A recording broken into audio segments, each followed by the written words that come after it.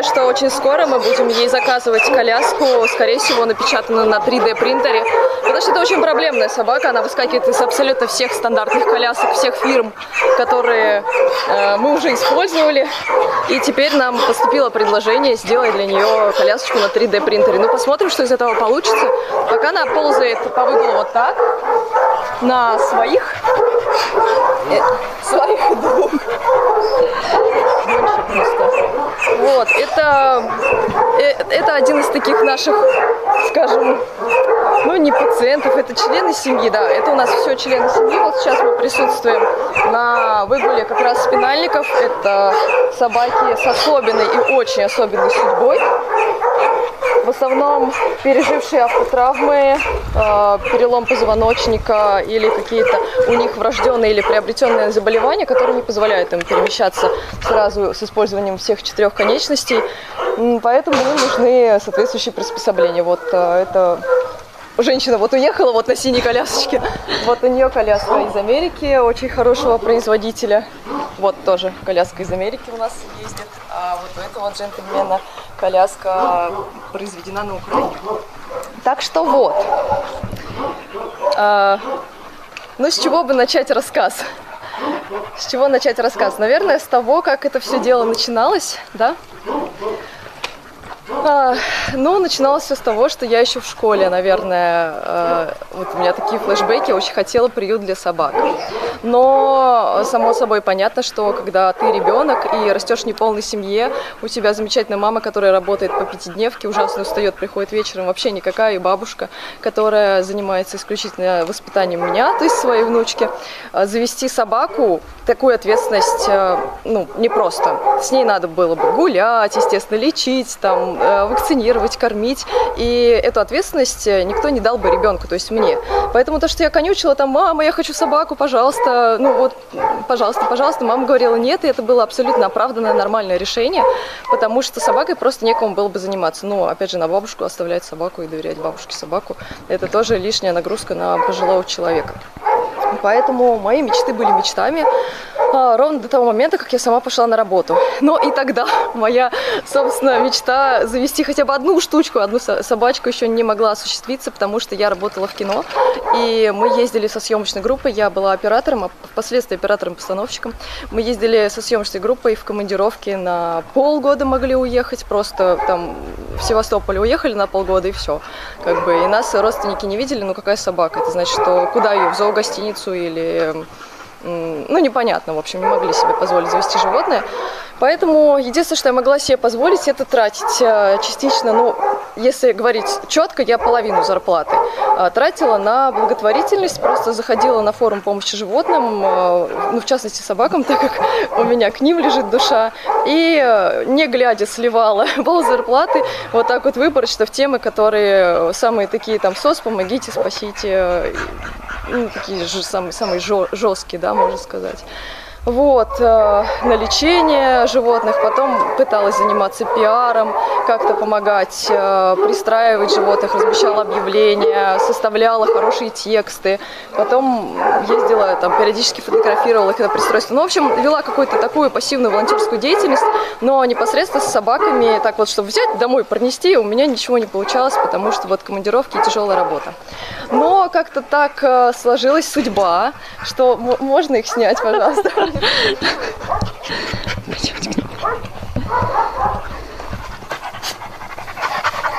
Очень чистая собака. Ты сначала одну почешешь, потом вторую почистишь.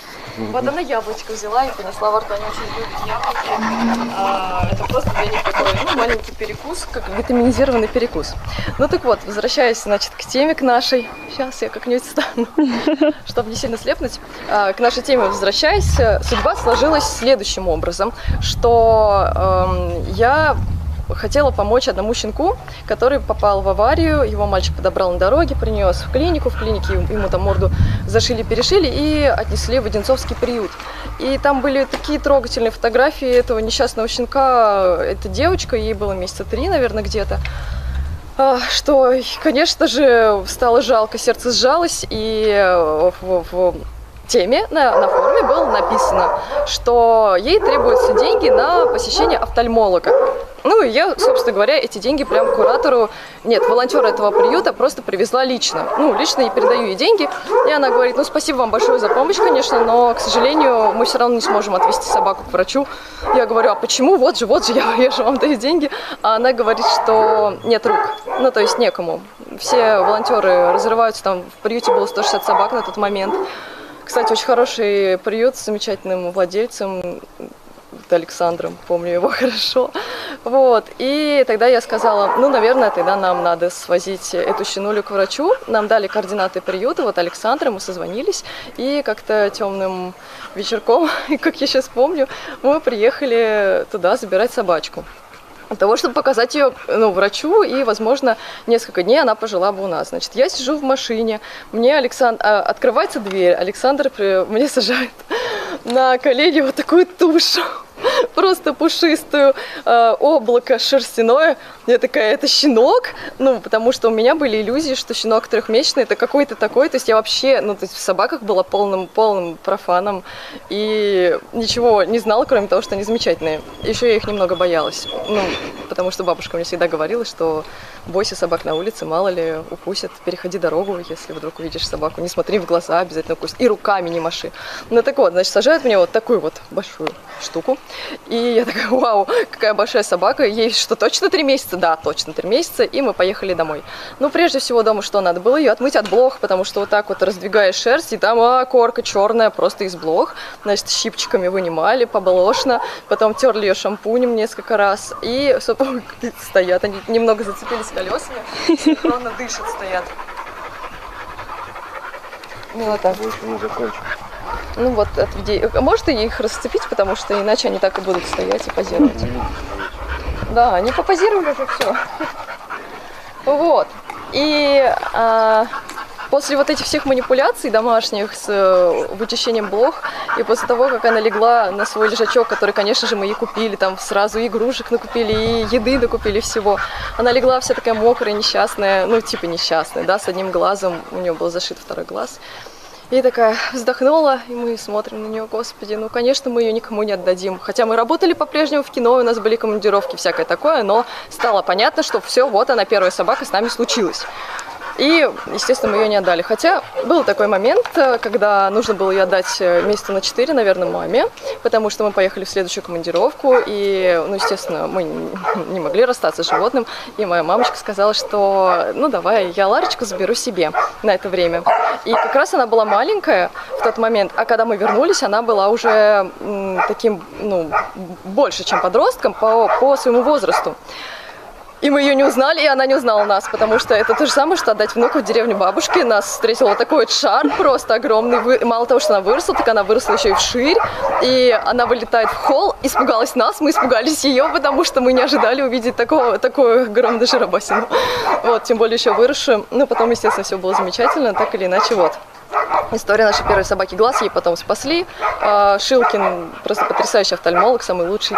Для меня а, просто спас ей второй глаз, и она, собственно, двухглазая собачка. Так, а, давайте мы сейчас чуть-чуть походим, угу. да, и я, наверное... А вот у меня вопрос, Дарья, смотрите, вы рассказываете, что мы, мы, мы с кем вдвоем? Да. Вы открыли этот мы приют, так сказать, для собак. Мы с мужем. А, ну, вообще, как было дело? Сначала я просто брала собак. Сейчас мы уйдем чуть-чуть в место, где потише, я продолжу. Ага, идемте.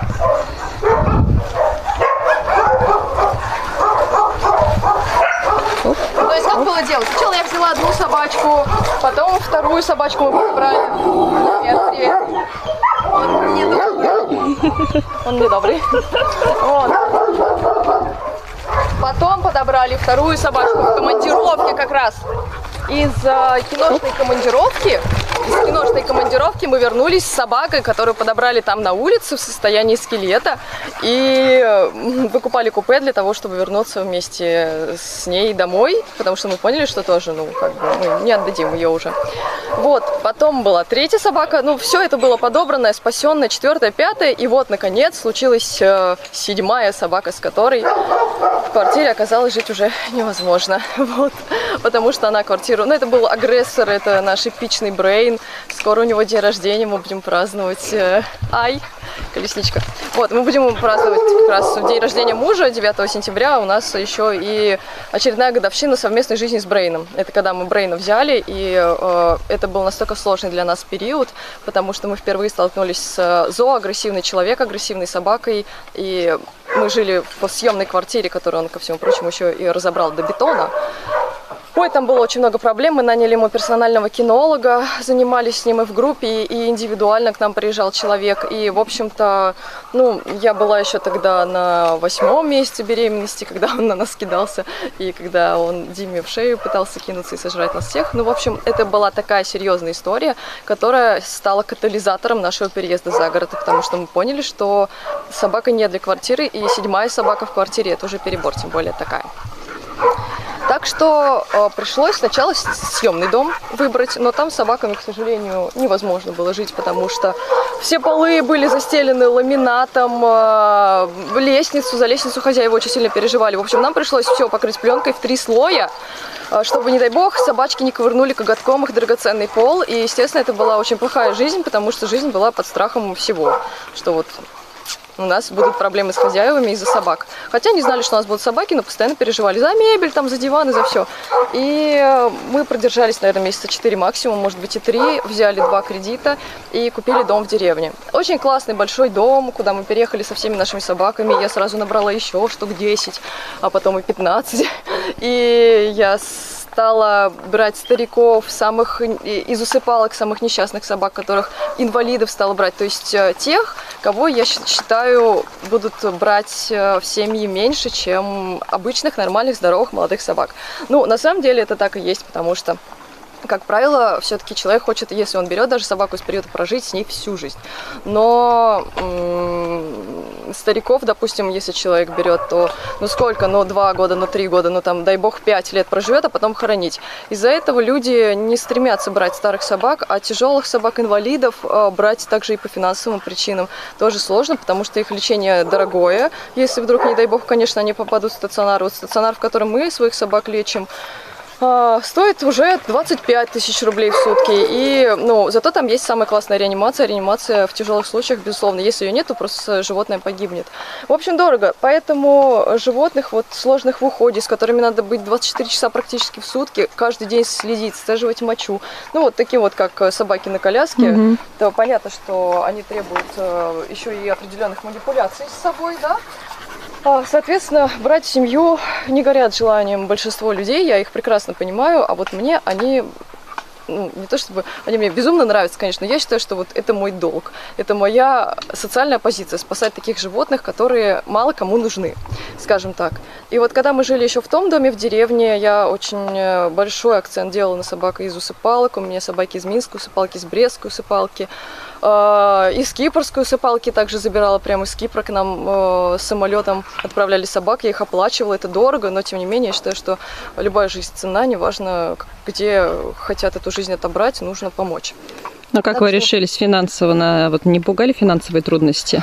Финансово я Э, хорошо э, зарабатываю и зарабатывала. Я скажу, чем я занималась, чем я занимаюсь сейчас, чтобы все эти вопросы сразу, ну, чтобы они не возникали. Я входила в топ-5 э, лучших свадебных фотографов Москвы.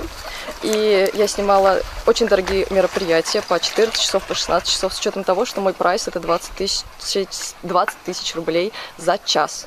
Соответственно, ну, у меня никогда не было таких вот прям каких-то глобальных проблем с тем, чтобы, а, ну, а на что они будут жить, правильно? И, соответственно, когда я поняла, что у меня ретуши на год вперед скопилось, то есть у меня столько съемок было, что я не успевала их отдавать. И вот я сейчас сидела и ретушировала съемку, которую год назад сдала, и люди ждали. Я поняла, что мне нужен перерыв, я просто не могу уже, не выдерживаю этого объема работы. И я сделала, э, приняла решение, что я больше практически не езжу на съемки, я занимаюсь только ретушью. Слава богу, А, Мои клиенты, мои постоянные клиенты, с которыми я сотрудничала все эти годы, у меня остались. И сейчас я ретуширую их семейные архивы просто за гонорар. То есть это не то, что там одна фотка 20 рублей, а просто вот я называю сумму, а мне высылают большущий архив, и я вот каждый вечер сижу за компьютером, э, просто глаза на стол кладу уже и спину тоже отстегиваю, но я должна это делать, потому что на мне вот эта вот финансовая ответственность лежит. Про деньги скажем так. Вот сейчас мы дойдем до стройки.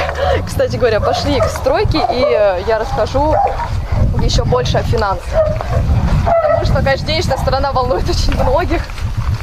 И такие вопросы всегда задаются.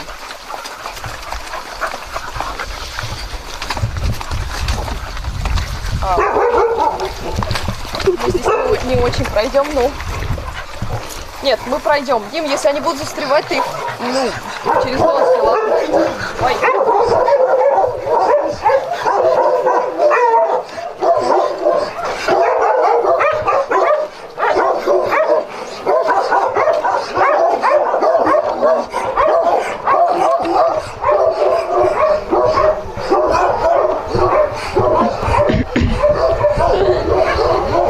Наше новое детище, фактически наша мечта. А, Ну так вот, значит, по поводу денег. А, Я считаю, что все финансовое бремя по содержанию моих животных должно лежать на мне лично. То есть а, человек собаку берет, человек собаку содержит, правильно? Это логично, это нормально. Я, конечно, понимаю, что бывают такие лечения. Вот у меня э, две собаки тяжелые лежало в стационаре одновременно. И это было 50 тысяч в сутки. Ну, ни один нормальный человек, даже имея одну собаку, вот в Инстаграме люди с одной собакой в стационаре, своей личной, не кураторской, не пристраиваем, собирали деньги. Но я считаю, что это по-человечески, если друзья мне помогают вот в таких каких-то проблемах. А, Но, опять же, я и деньги одалживала тоже, когда мои собаки попадали по таким суммам в стационар. А, Но вообще кормление – это 6 тонн мяса, а, фарша, моркови, частично яблок. Тихо. В месяц. Кормление, содержание вот этого всего – это все мое бремя, наша ответственность финансовая. Но что касается расширения, строительства, а, каких-то улучшений, а, на это у нас просто нет денег. И да, мы собираем средства. А, В частности, мы собрали на краудфандинговой платформе замечательной под названием Планета.ру. У нас было три или даже четыре проекта, я уже не помню. Но они нам позволили построить корпус для собак-инвалидов, для спинальников. Вот этот вот огромный корпус. Ну, это два, даже два корпуса совмещенные. А, Построить вольерные ряды и купить новые коляски для собак. То есть, э, а, лисий дом еще один построить. Один мы сами построили, а второй мы строили за деньги, которые э, пожертвовали, соб- собственно, люди на нашу инициативу. И вот этот корпус мы сейчас строим не на свои средства. Есть два замечательных человека, просто которые знали мою мечту построить медблок для сложных собак. Медблок, я сейчас расскажу, что это такое, зачем он нам нужен. Вот, они просто дали деньги, это 600 тысяч рублей. То есть, для понимания, просто вот выделили средства на то, чтобы мы это наконец сделали. Да, дело в том, что у нас как, ну, у нас э, много собак, которые должны получать в том числе инфузионную терапию в домашних условиях, не в стационарных. Мы умеем ставить катетеры, капельницы, э, выводить собак из эпистатуса. То есть мы умеем делать много, и нам не обязательно для этого нужен стационар, но врачи нам дают назначение, которое мы можем выполнять дома. И у меня сейчас самые сложные собаки содержатся в моей спальне. А, И понятно, что мы без собак, то есть э, всё- любая комната будет с собаками, но спальне у меня самые сложные собаки, там бывало и пять собак на капельницах. А другие собаки по ним могут ходить, выдернуть катетер, или собака может взять и уползти там куда-нибудь в другой угол. Это все неудобно, проблематично и э, ну вот проблемы за собой ведет. Соответственно, я хотела, чтобы у нас был э, корпус с отдельными комнатами, а стационар, вот как в ветклинике, чтобы там был, э, было не сено, у нас просто все корпуса э, сеном заложены, соломой, соломой, соломой, чтобы им было мягко, комфортно, уютно, но все-таки для э, собак таких, которые требуют лечения, это не очень подходит, все-таки там нужно дезинфицировать, мыть, промывать, э, там нужен линолеум хотя бы, да, и это обязательно должны быть э, такие уникальные пространства, куда по одной собаке мы проехала колесница по ногам. По одной собаке мы э, туда помещаем, подключаем к, инфузиям и точно знаем, что никто не убежит с капельницы, никто ни по кому не пройдет, ни на кого не сядет в этот момент, и собака спокойно прокапается. А, также у нас нет горячей воды, это большая проблема, потому что у нас есть спинальники, их нужно мыть, а для того, чтобы их мыть, летом это летний душ, зимой это, если капитально помыть собаку, это вот ехать в наш старый дом в деревню, там есть, естественно, горячая вода, и можно помыть собаку целиком. Если, если зимой нужно помыть, ну осенью, зимой, вообще в любое нетеплое время года, а, подмыть просто собаку, то есть это либо средства, естественно, из аптеки типа Сени, такие пенки, потом пеленкой протираем, хлоргексидином, пеленкой и так далее, либо кипятится чайник, и все это моется в тазу, в общем, это тяжело. Соответственно, у нас здесь есть шанс э, наконец сделать, не только провести туда воду, но и повесить обогреватель, сделать так, чтобы там была душевая, нормальная, помывочная для собак, и, кстати, для нас тоже, потому что мы все уже четвертый год живем без душа, элемент... то есть вообще даже без туалета, без элементарных условий. Если надо помыться, то пешочком в деревню полтора километра, пожалуйста. Если надо сходить в туалет, то ведро там, пожалуйста, то есть все что угодно, но не как у людей все. Вот, здесь это все будет, и, в общем, я очень счастлива. Это будет э, небольшое здание, здание, то есть даже не двух... Или где? С мансардой, без... Я даже не знаю. Без мансарды одноэтажное здание, невысокое, но главное, что оно будет удобное именно для решения таких гигиенических проблем и медицинских проблем, которые у нас существуют. А, и, конечно же, в планах, в каких-то глобальных планах, не в этом году даже, может быть, не в следующем, это купить анализаторы крови, потому что, ну, они стоят на самом деле миллионы. Я мечтаю, ну, видите, вот эта же мечта сбылась. Просто э, очень часто нужен контроль к показателей крови, показателей мочи для таких вот особенных собак.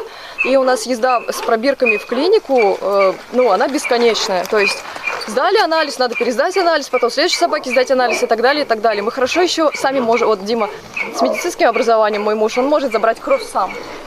У нас есть пробирки, естественно, они хранятся в, ну, ну, как бы в нужных да, условиях. Просто берем собаку, берем пробирку, набираем э, для клинического анализа, для биохимического и везем в клинику. Клиника рядом ну, с лабораторией, но опять же, лаборатория делает двое суток.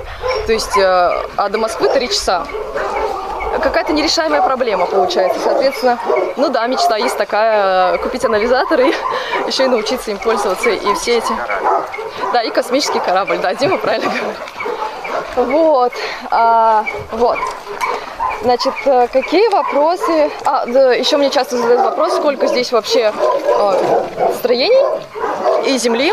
Мы переехали из жилой деревни сюда. Мы купили сельхозземлю, а, потому что жить в жилой деревне с большим количеством собак нереально. Ну, соседи, э, жалобы, это неуважение по отношению к людям, которые живут рядом. Даже если они будут не против, все равно я бы чувствовала себя очень некомфортно.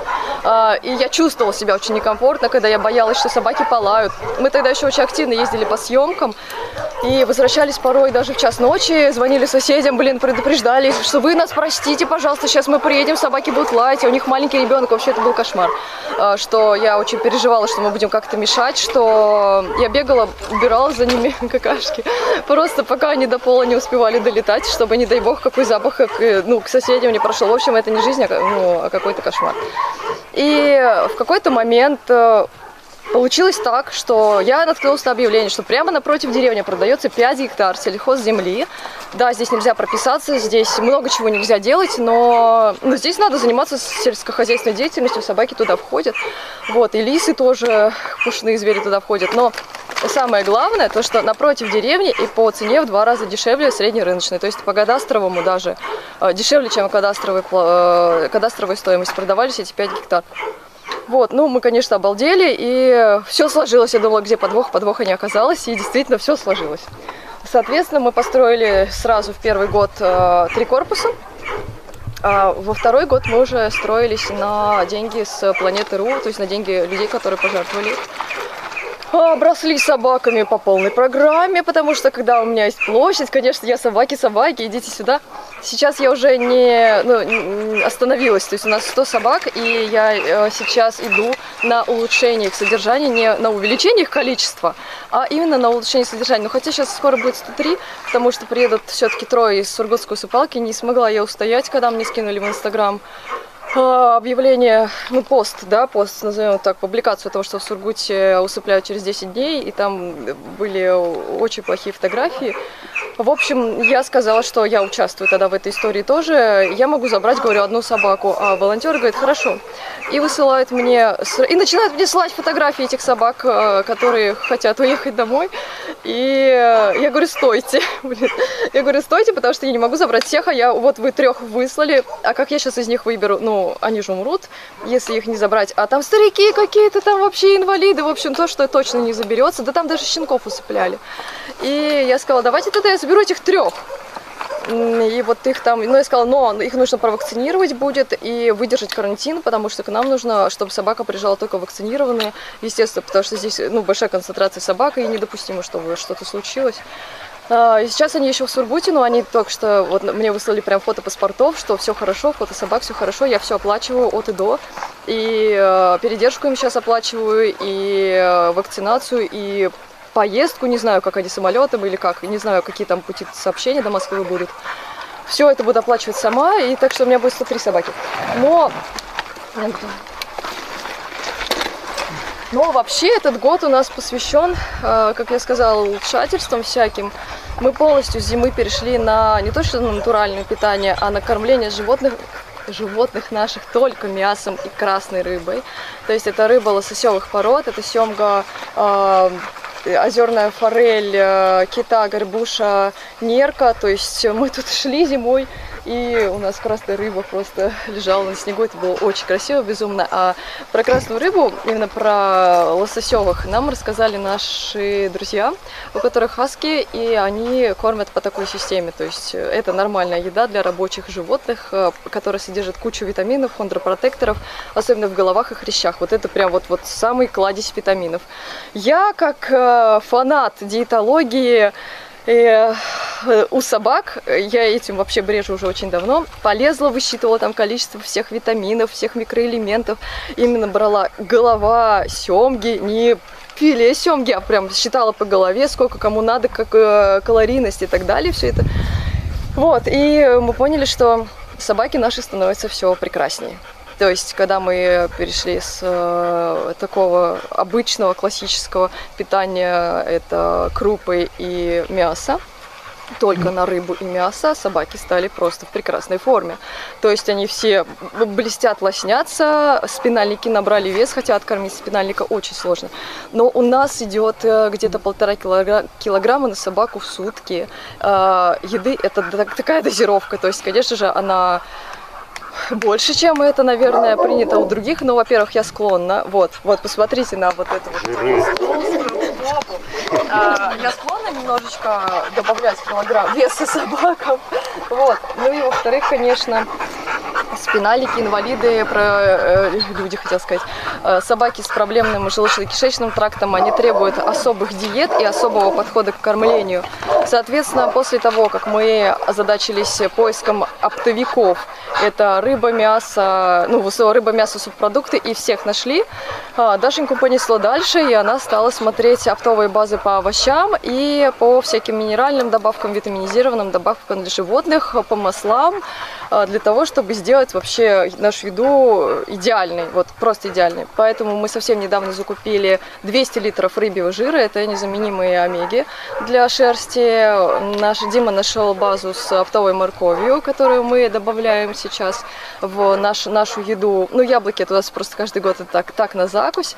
Вот, и рассматриваем еще раз. А, купили цамакса 50 кило, а, Витома, вот сейчас можем выйти, я покажу, прям коробками стоит. Это пребиотик.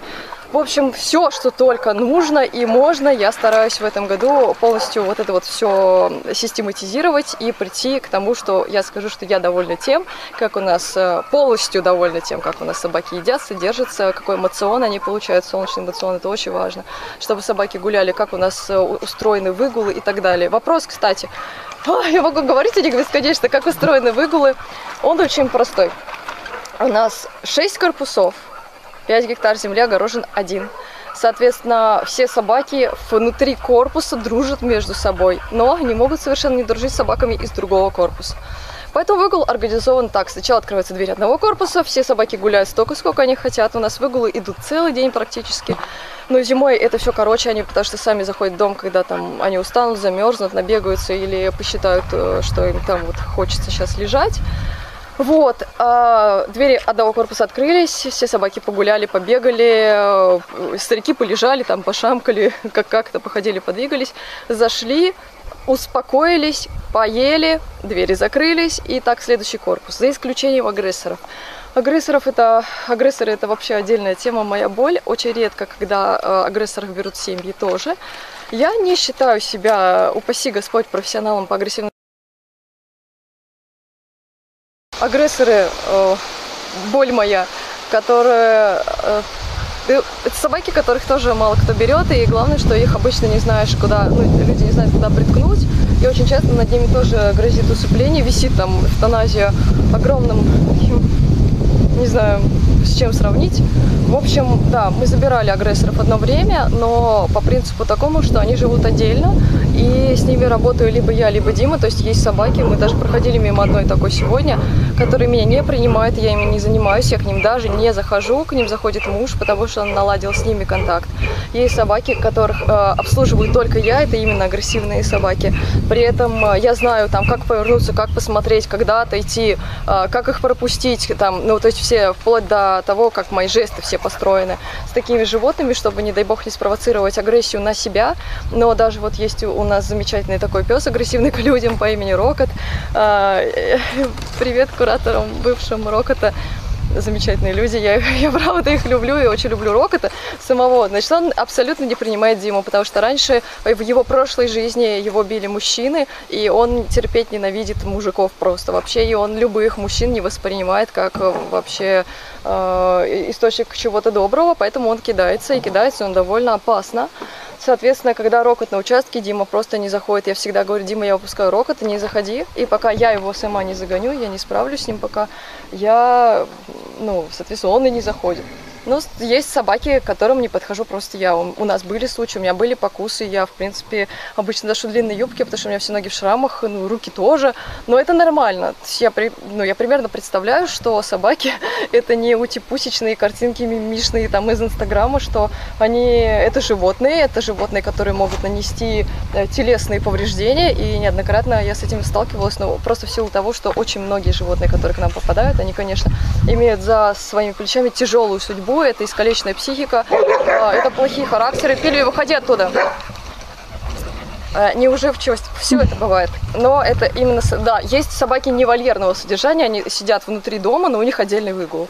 Это такие, которые не, не, не холодоустойчивые, или как это сказать, вообще гладкошерстные животные, которым вольер просто не подходит, но они также агрессивные, и поэтому у них есть Так, персональный а когда агрессоры гуляют, вот собаки-инвалиды, них не обижают, а, не трогают? Не-не-не, значит, собаки-инвалиды, во-первых, они гуляют а, ровно пока не устанут, они гуляют всегда одни. То есть э, все собаки, когда выходит агрессор, все собаки сидят по домам, и это выходит одна-две собаки, которые уживаются друг с другом, и никогда не выходят на выгул те, которые могут сцепиться, потому что конфликт, драка – это то, что могут устроить собаки, но это то, чего нужно избегать э, по максимуму. То есть в 99% у нас получается. Если случаются какие-то редкие конфликты, то скорее потому, что к нам приехала какая-то новая собака, которую мы недостаточно хорошо знаем, и, ну, и у, него, у нее оказался тяжелый характер, то есть и может быть там какая-то вспышка доминантности есть, но мы сразу эти моменты отслеживаем и их рассаживаем, больше такого не допускаем, стараемся не допускать.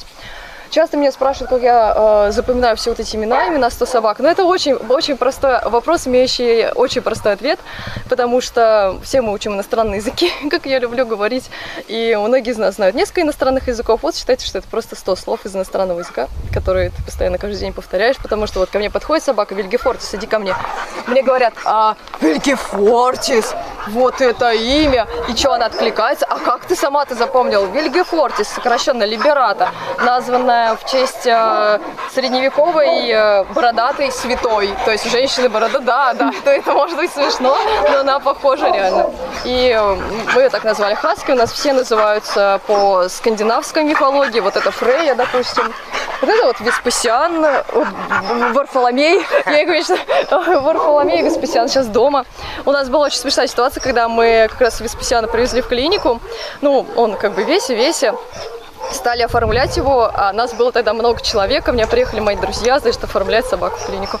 И э, дошло дело до того, а как зовут собаку-то. Ну, то есть мы как-то откладывали все вот этот момент озвучания его имени, и там пол, возраст, все что угодно говорили, там анамнез э, записывали, чем он болел, а потом, а как собаку-то зовут? И такая пауза, повисла такая тишина, э, врач смотрит, говорит, типа, в чем проблема? И я говорю, ну кто скажет? Ну, типа, да, что ты, говорит, твоя собака. Говорю, его зовут Веспасиан Флавий. А, все такие, а можно как-то сокращенно его записать? Но мы записали его весе. Ну, в общем, э, имена я обычно даю, конечно, извращенные какие-то, но так как я каждый день общаюсь с ними и вот так вот мацаю, тискаю и называю по имени, в том числе и приучение к имени идет таким образом. То есть я не просто собаку там обращаюсь, там мимо иду, а, типа, Фрея, там, привет, и, и дальше пошла. Она не поняла вообще, что я сказала. Нет, я подхожу, говорю, там, Фрея, Лавруша, там, Глажа, Стрела, ну, если гончая, гончих так зовут, а, специфическими именами. Или беру за ошейник, там, веду, говорю, там, Мелиса, пошли, чтобы они свои имена тоже сами заповедали. И поэтому вот к нам, когда приезжают люди, мы, мы там выпустили корпус со всеми гончими. Они все одинаковые. Ну, то есть э, русские пеги гончие, русские гончие, в принципе, на человеческий глаз обыватели все одинаковые. То, конечно, мы их различаем. Они знают всех, каждый свое имя. Я могу там сказать, там, раскат, подойди ко мне. И выделяется из толпы, значит, гончая такая подходит. А как, как это вообще, как вы их различаете? Ну, просто нужно с ними общаться. Вот. А, по поводу того, как меня воспринимают собаки, э, собаки все так мило говорят, ну, вы же их мама, там, псина мать и все такое. Собаки воспринимают меня очень часто. Конечно, они меня любят, но некоторые собаки воспринимают как э, еду подносилка, как э, мячика кидалка, как э, там развлекалка, как обслуга. Да, то есть они наглые, они залюбленные, они э, очень, э, как это сказать-то, ну, в общем, все у них есть, да, как, э, как сыр в масле. И они считают, что, ну, конечно, так и должно быть. Ты прибежала, ты принесла, там, ты подмыла, ты с подношением. Вот в стационар ездили с подношениями, значит, к нашей одной собаке. Да, вот так вот. Такие дела. А, предлагаю пройти сейчас и посмотреть э, на наше место хранилища кормов. Пойдемте, только нам надо пройти мимо сейчас э, собак, это будет снова громко. Ты был в лисятнике? Да. Так, ну пошли.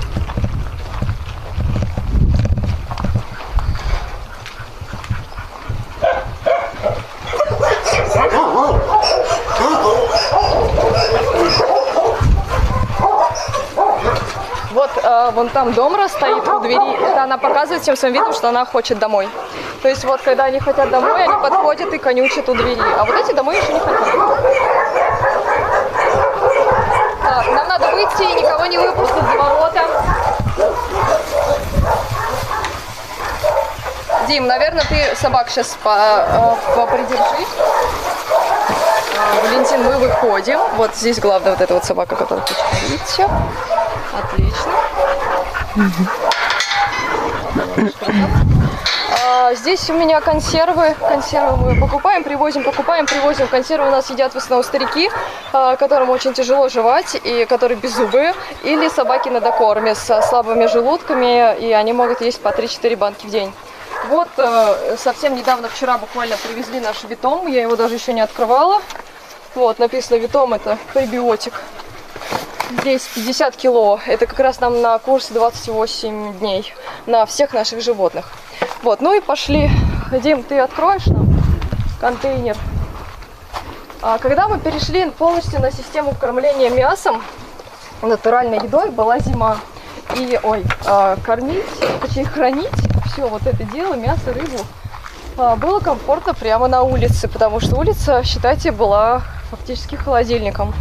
А когда наступила весна, мы стали думать, а где нам, собственно, хранить, потому что мы привозим по 2 тонны три раза в месяц.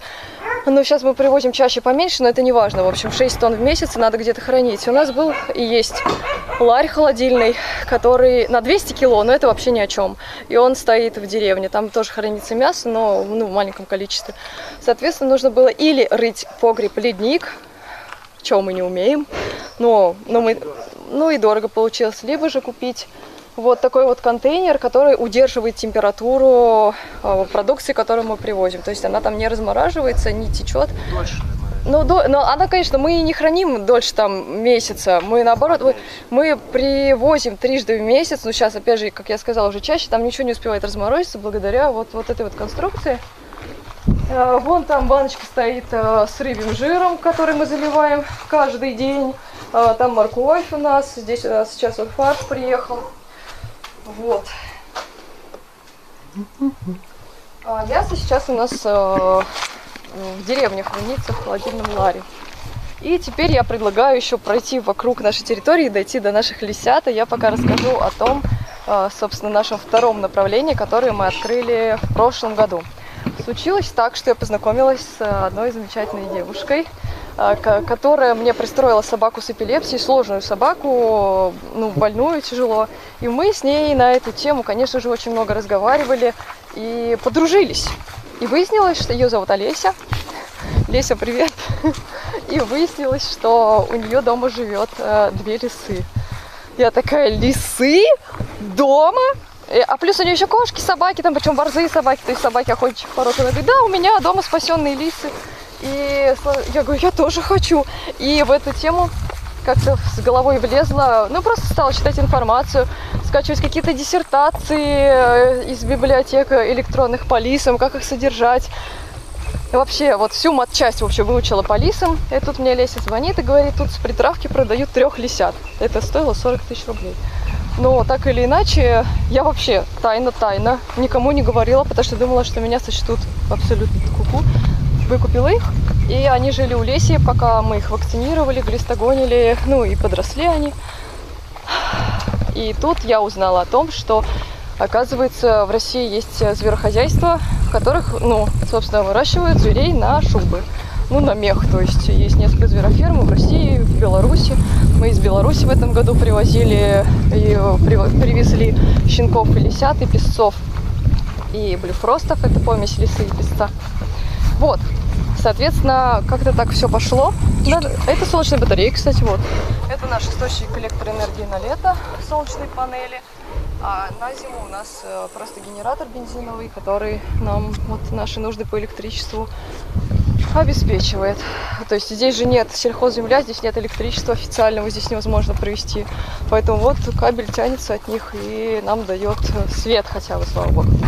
Ну так вот, и в прошлом сезоне я просто стала выкупать с помощью людей, потому что а, один лисенок стоит там от 11 до 16 тысяч рублей, в том числе это официальные продажи на сайтах зверохозяйств, есть все эти прайс-листы. Мы стали выкупать животных и заодно стали строить дом им. И построили первый лисий дом, большой, на свои деньги, а дальше открылись на планете Ру и построили второй. Не лисий дом, а енотовидный дом. Енотовидный это не для енотов, это для енотовидных собак. Это тоже пушное производство, то есть это тоже зверь, который идет на мех, А, но это именно собака, просто выглядит она немного как енот. Вот, сейчас мы увидим то, что мы построили уже в этом году. Вот. Собственно говоря, здесь уже заселены наши маленькие лисята и песцы, которых мы выкупили. В этом году мы выкупали из Беларуси, потому что нам просто звонят и говорят, есть возможность выкупить, э, Даша, если ты хочешь, то пожалуйста. Иначе они пойдут в забой. Но вот эти, естественно, уже будут жить с нами всю жизнь, мы их не пристраиваем, не отдаем. Э, Ни в какой забой они никогда не, под- не пойдут. Просто мы вот спасаем таким образом этих животных. Вот. э, Здесь построено сейчас 6 вольеров. Не до конца. Да, они еще не до конца готовы. А вот это вот наше новое. Сейчас мы тоже туда можем. мо- Можем зайти, а можем. Мы можем или не можем? Да, сейчас вот наших лисяток глянем.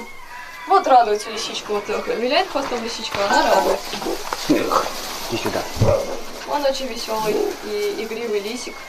Как раз а, вот те вот испугались. Он кусачий Ну, еще. они не очень а, социальны. В принципе, вот все животные пушные. А, практически все не самые социальные звери. Они уже взрослые? Не-не-не, это маленькие. Маленькие. Это, это еще щенки 3-4 месяца. Вот, это, это тоже лисы, а это песцы. Себе натырили уже всяких этих, порвали всяких упаковок, которые здесь от струйки ОРС. Ну, В принципе, ничего страшного. Вот песцы более социальные, чем, чем лисы, они готовы общаться, и, в принципе, они подобрее будут. Вот, вот, а вот представляете, как можно пустить на шубу а, вот такую прелесть, я не знаю, просто Я своим инстаграмом счастлива, что я показываю людям, из чего делать шубы. И очень многие сказались благодаря нашей вот этой деятельности по спасению пушных зверей от э, натурального меха. Вот это вот э, наша новинка этого сезона. Мы выкупили уже много енотовидных собак, но их надо еще куда-то поселить. И там щели заделали, Дима, или нет? Нет еще? Ну еще строить. Вот, здесь еще не все готово, но вот это все пространство будет, э, вот оно огорожено. Мы выпустим сюда наших выкупленных, они пока что еще э, сидят в довольно тесных условиях, ждут переселения наконец-то. В это пространство здесь будет купальня по центру, и вот у них естественный лес, то есть э, имитация естественной, условий естественной среды для янтовидных собак. Лис, к сожалению, так нельзя содержать, потому что они склонны к побегу, и их э, все лесоводы... Дорого. Все, все лесоводы говорят, что их нужно в сварных клетках держать, в том числе с полностью забетонированным полом, потому что они ну, просто уходят через верх, через, э, ну просто. И вот э, эта конструкция как раз лещатника у нас э, идеально, я считаю, гораздо лучше, чем в прошлом году. Потому что в прошлом году мы еще доделывали пол зимы, все что о, аккуратно. Яма. И яма. А вот лай мы сейчас слышали, это они тоже так лают, именно лают. Лисы псовые, им свойственны такие звуки. Ну, это не радостный лай, это скорее охранный лай. Вот. Зайти к ним нельзя, потому что здесь пока что не огорожено, и если произойдет утечка лисы, то она утечет прямо в лес, и это, это недопустимо. Мы сюда заходим всегда со страховкой, когда кормить Ой. Лазит. Да, лазит. Они как кошки лазят. Лазят они прекрасно, они могут и на потолке также висеть. Это она испугалась, то есть она залезла туда, потому что немножко испугалась. Вот, ну вот этот, конечно, очаровательный совершенно абсолютно товарищ. безумный. Вот, но он немножко безумный, кстати, он болеет. а У э, лис тоже есть свои специфические болезни, которые проявляются, в частности, в эпилептических припадках. И э, ну, довольно тяжелое это заболевание. Вот он приехал к нам сразу с припадками, с витаминной не- недостаточностью, но, как видите, он жив, радостен и э, обколот витаминами. Вот, вот, видите, как себя ведет собственник. Ну и, в общем, я довольна тем, как он развивается и как он себя чувствует. Мы его не капали? Нет, в него мы не капаем. Нет, мы его просто кололи. Вот, ну на этом, наверное, все. Я, ну вот, весь свой максимум, что могла, хотела, а, можно сказать, показать, показала.